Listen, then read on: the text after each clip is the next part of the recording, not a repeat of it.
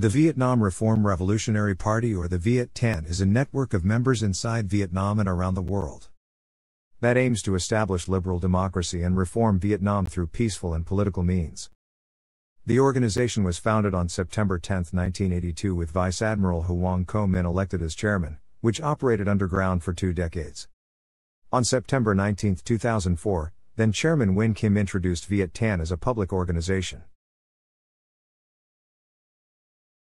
Viet Tan's activities are rooted in the promotion of nonviolent political change in Vietnam. The organization is outlawed in Vietnam and the government of Vietnam considers it a terrorist force. The Office of the UN High Commissioner for Human Rights has described Viet Tan as a peaceful organization advocating for democratic reform. The U.S. government has stated that there is no evidence that it is a terrorist organization. The Viet Tan aims to establish democracy and reform Vietnam through peaceful means, focusing on empowering the Vietnamese people, supporting the development of civil society, and promoting pluralism in Vietnam. Specifically, Viet Tan seeks to roll back existing restrictions against basic rights by promoting a de facto free media, supporting grassroots movements, training and capacity building, and engaging in international advocacy. Viet Tan sees the strength and resources of the Vietnamese people as the impetus for achieving political change and restoring civil rights. Viet Tan embraces the nonviolent struggle approach to reform. The organization believes that change has to come from within Vietnam and come from the bottom up. Human Rights Watch have repeatedly stated that the organization has worked for peaceful political reform, democracy, and human rights in Vietnam. The organization has outlined the following steps to democratizing Vietnam. Outside of Vietnam, Viet Tan frequently meets with members of the United States Congress, the Parliament of Australia, Parliament of Canada, and members of the European Union and given key testimonies on issues of human rights, internet freedom, and political repression. Viet Tan also advises organizations on using trade to leverage human rights. In a radio interview with Australia radio station 2SER, Viet Tan representative Phan Nguyen states that our mission is to promote human rights, democracy, and to end social injustice. By peaceful non-violent means-based civic participation, though he recognizes that the Vietnamese government regards them as a terrorist organization, despite a lack of evidence. In a statement released in 2013 following the conviction of Vietnamese dissidents accused of being members of Viet Tan, the organization states that it believes that gaining an understanding of nonviolent civil resistance, digital security, and leadership skills are both empowering and the right of every free individual. The organization is outlawed in Vietnam and the government of Vietnam considers it a terrorist force. However, the Vietnamese government has never found Viet Tan members carrying weapons. The Office of the UN High Commissioner for Human Rights has described Viet Tan as a peaceful organization advocating for democratic reform. The U.S. government, most notably former U.S. Ambassador Michael Michalak, has stated that there is no evidence that it is a terrorist organization. Viet Tan has members and supporters throughout Vietnam and around the world. Its network inside Vietnam comprises intellectuals, university students, and workers. While membership is by invitation only, Viet Tan does send out mass emails to people in Vietnam to recruit potential members. Viet Tan held its sixth party congress in September 2006. Members were elected the Central Committee headed by Du Hoang Diem as chairman and Ly Tai Hung as general secretary. On September 10, 1982, the National United Front for the Liberation of Vietnam was founded by various groups in Vietnam, with Hoang Co Minh elected as president. Two years later, this group was then later reorganized into Viet Tan, when it became a worldwide underground movement. While the former had the primary aim to topple the communist regime through a popular uprising, the latter aims at renovating Vietnam through political and peaceful means. During the period of 1982 to 1987, Hoang Co Minh also served as the organization's chair, until he was ambushed by Vietnamese soldiers while leading a group of members into Vietnam. In the period that followed, Viet Tan remained an underground organization with undisclosed projects and campaigns. Viet Tan Chairman Du Hoang Diem meets with U.S. President George Bush and Vice President Dick Cheney on May 29, 2007, urging the president to increase pressure on Vietnam to respect human rights on September 19, 2004. In a highly publicized event in Berlin, Germany, the organization stepped out as a public organization, announcing the dissolution of the New Live, and a recommitment to establish democracy in Vietnam through peaceful means. In September 2006, Viet Tan sent members to testify before the Congressional Human Rights Caucus in Washington, D.C. On May 29, 2007, Chairman Du Hoang Diem was invited by U.S. President George W. Bush together with three other Vietnamese American activists to the White House on a meeting about Vietnam's increasingly harsh treatment of anti government activists and an upcoming visit by Vietnam's President Nguyen Minh Triet to the United States. During the 45 minute meeting, Du Hoang Diem urged the president to increase pressure on Vietnam to respect human rights and asked for the United States to support openly democratic forces to bring change to Hanoi. During Nguyen Minh Triet's visit to the U.S., Du Hoang Diem also met with House Speaker Nancy Pelosi shortly before her meeting with the Vietnamese president to stress the importance of raising the issue of Vietnam's poor human rights record. On March 19, 2009, Viet Tan members also testified before the Parliament of Australia Human Rights Subcommittee on Vietnam's recent development on workers' rights abuses, religious freedom, and arbitrary arrests. This was also followed up in November 2009, when Viet Tan organized a democracy dinner with Australian politicians Alistair Coe and George Lemon, who both received honorary Member status for Viet Tan given their support and work for the nonviolent struggle for democracy in Vietnam. Viet Tan organizes civic action in Hanoi on October 9. 2010 On March 14, 2010, Viet Tan members gathered in the Vietnamese capital Hanoi, Vietnam to assert Vietnam's maritime claims to the Paracel and Spratly Islands. They distributed t shirts and hats with slogans that were prohibited by the Vietnamese government. A similar protest against China's actions over disputed maritime territories occurred on October 8, 2010, with approximately 70 members of Viet Tan in attendance in Hanoi, Vietnam. The members said it was their responsibility as citizens to speak out, and passed out t shirts and hats calling for the government to defend its right to sovereignty over disputed islands in the South China Sea. On November 17, 2007, three Viet Tan members, U.S. citizens Nguyen Quoc Quan, a mathematics researcher, and Trong Van Ba, a Hawaiian restaurant owner. And Frenchwoman Nguyen T. Tan Van, a contributor to Viet Tan Radio Chan Troi Moi radio show, were arrested in Ho Chi Minh City. At the time, they were leading a democracy seminar and preparing pro democracy pamphlets, when 20 security officers raided the house. In addition, Thai citizen Somsak Kanmi and two Vietnamese nationals, Nguyen The Vu, a trader, and his brother Nguyen Trong Kiem were also arrested. Three days later, on November 20, 2007, Vietnamese security police arrested Nguyen Viet Trung, a Vietnamese citizen, in Phan Thiet. Born 1979, Nguyen Viet Trung is a businessman and younger brother of Nguyen The Vu. The arrests were not officially confirmed by the Vietnamese government until November 22, 2007. During the press briefing, officials declined to state which laws the detained individuals have broken, nor released any information about Nguyen Quoc Quan, whose whereabouts remained unknown for a week. In response to the arrest, Viet Tan launched a worldwide awareness campaign under the name of Free Them Now, that included a petition to request the US, French, and Thai government for assistance in demanding an immediate release of the individuals. Coinciding with the International Human Rights Day on December 10, rallies were organized in Paris, Sydney, and Washington, D.C. On November 24, 2007, Vietnamese security police released university student Nguyen Trong Kiem after detaining him for a week without cause. On December 12, 2007, after weeks of protests and appeals by U.S. lawmakers and international pro democracy movements, Vietnam released American citizen. Trong Van Ba shortly after the U.S. Ambassador Michael Michalak demanded to see evidence of terrorism or other charges to justify their detention. Nguyen Quoc Quan remained detained in Vietnam, with the U.S. consulate allowed to visit him once per month. However, family visits were not allowed. His wife was granted a visa to visit him in January 2008, though the Vietnamese consulate revoked the visa one week prior her scheduled trip.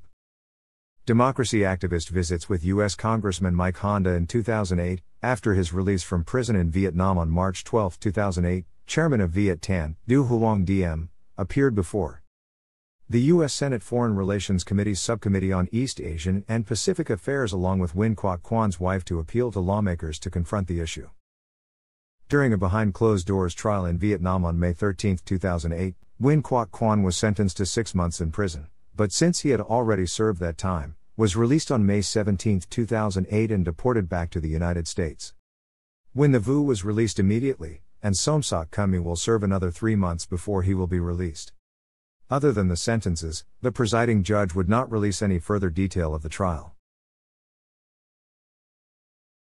Following the 2007 arrests, Three additional Viet Tan members, Nguyen Thi Xuyen Trang, a medical doctor from Switzerland, Mai Hu Bao, an electrical engineer.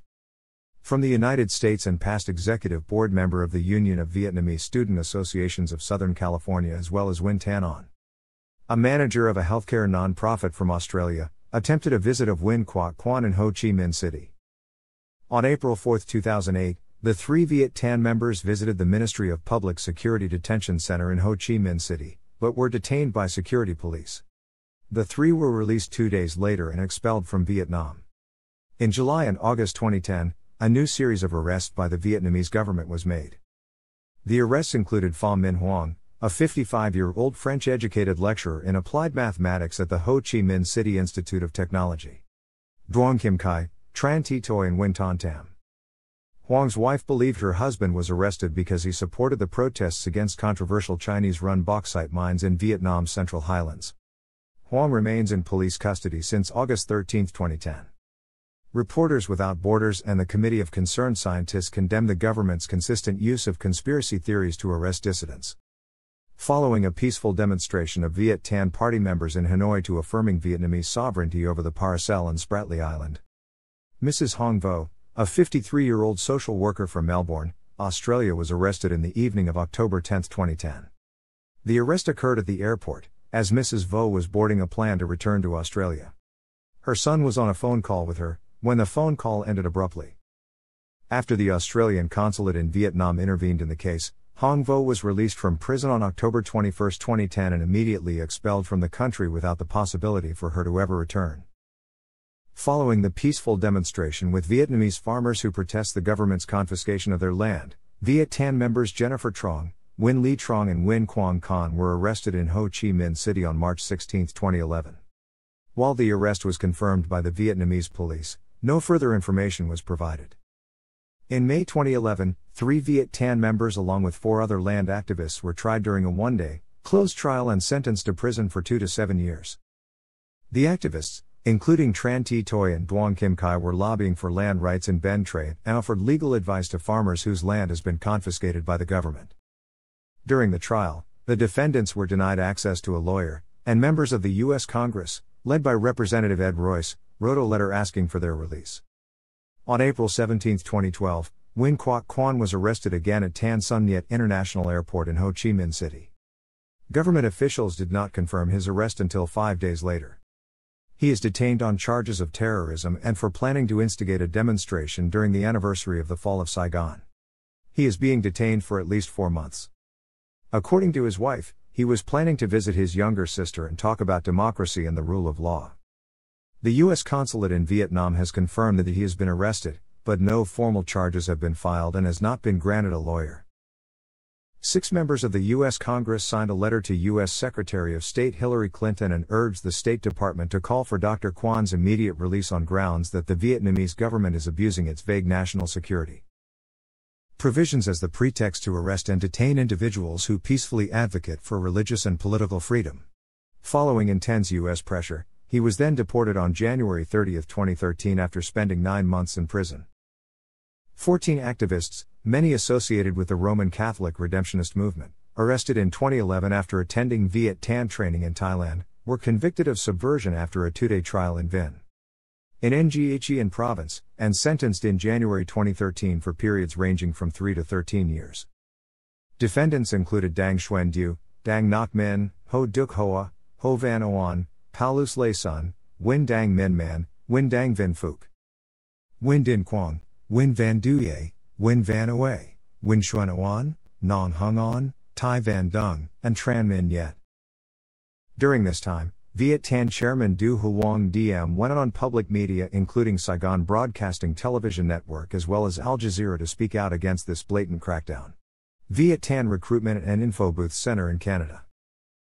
In response to Vietnam's appeal to internet companies Microsoft, Google and Yahoo to work with the Vietnamese government to restrict blogging about dissident material and hand over information that could lead to arrests.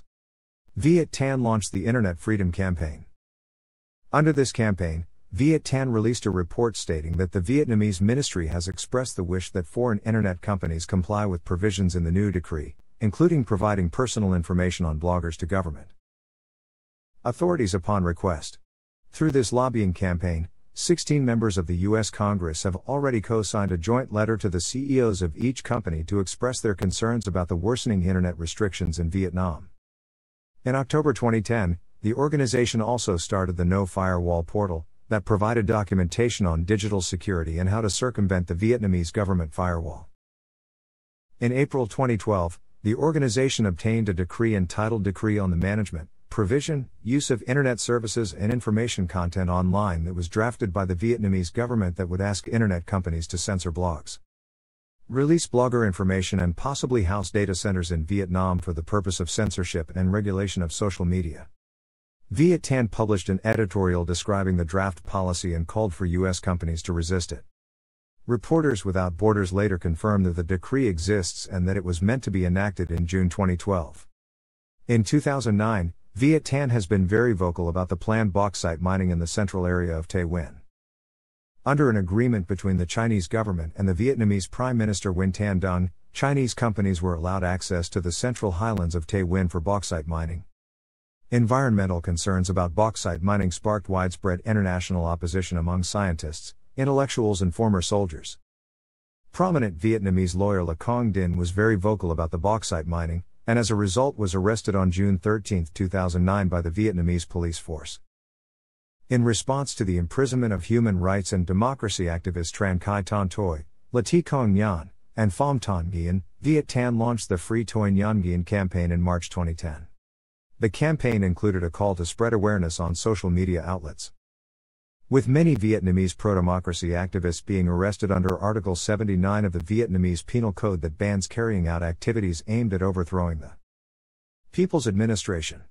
Viet Tan has started the 1 Million Against 79 campaign that solicits videos from individuals voicing their opposition against Article 79. Reporters Without Borders also noted the government's systematic use of conspiracy theories and Article 79 to arrest dissidents. Since 1992, Viet Tan has operated a daily radio broadcast to Vietnam under the name New Horizon Radio. The program airs every night from 8:30 p.m. to 9 p.m. on AM 1503. Despite efforts to jam the broadcast by the government, it can be heard in most areas of the country. The episodes are also available online as a podcast. Viet Tan started a social networking outreach program through the Friends of Viet Tan community that allows like minded activists to follow news and activities about Vietnam and Viet Tan and also participate in the discussion. The program was first launched as a Facebook application that allowed other users to suggest their own newsworthy articles and references to a main feed that was replicated to many other websites. The application also syndicated Radio Chan Troi Moi as a podcast, and in 2009 also introduced a vodcast. On November 14 to 15, 2009, Viet Tan organized a seminar on digital activism, a tool for change in Vietnam held at Georgetown University. In Washington, D.C. Incidentally, in the same week, the Vietnamese government decided to block Facebook through its internet firewall. In response, seminar attendees produced viral videos and documentation on how to circumvent Vietnam's firewall to access Facebook as well as a viral video called Facebook Back that uses modified lyrics of Justin Timberlake's Sexy Back. The same seminar was repeated February 27 to 28. 2010 at Chapman University in Orange, California which was co sponsored by the Asian Pacific Law Student Association and the Vietnamese American Law Student Association. The seminar also took place at Harvard University from October 16 to 17, 2010. On March 9, 2010, Viet Tan spokesman Duy Hoang presented on digital activism in Vietnam at the Geneva Summit for Human Rights, Tolerance and Democracy and was one of the panelists to discuss next generation, young rights defenders and the blogosphere. Thanks for watching.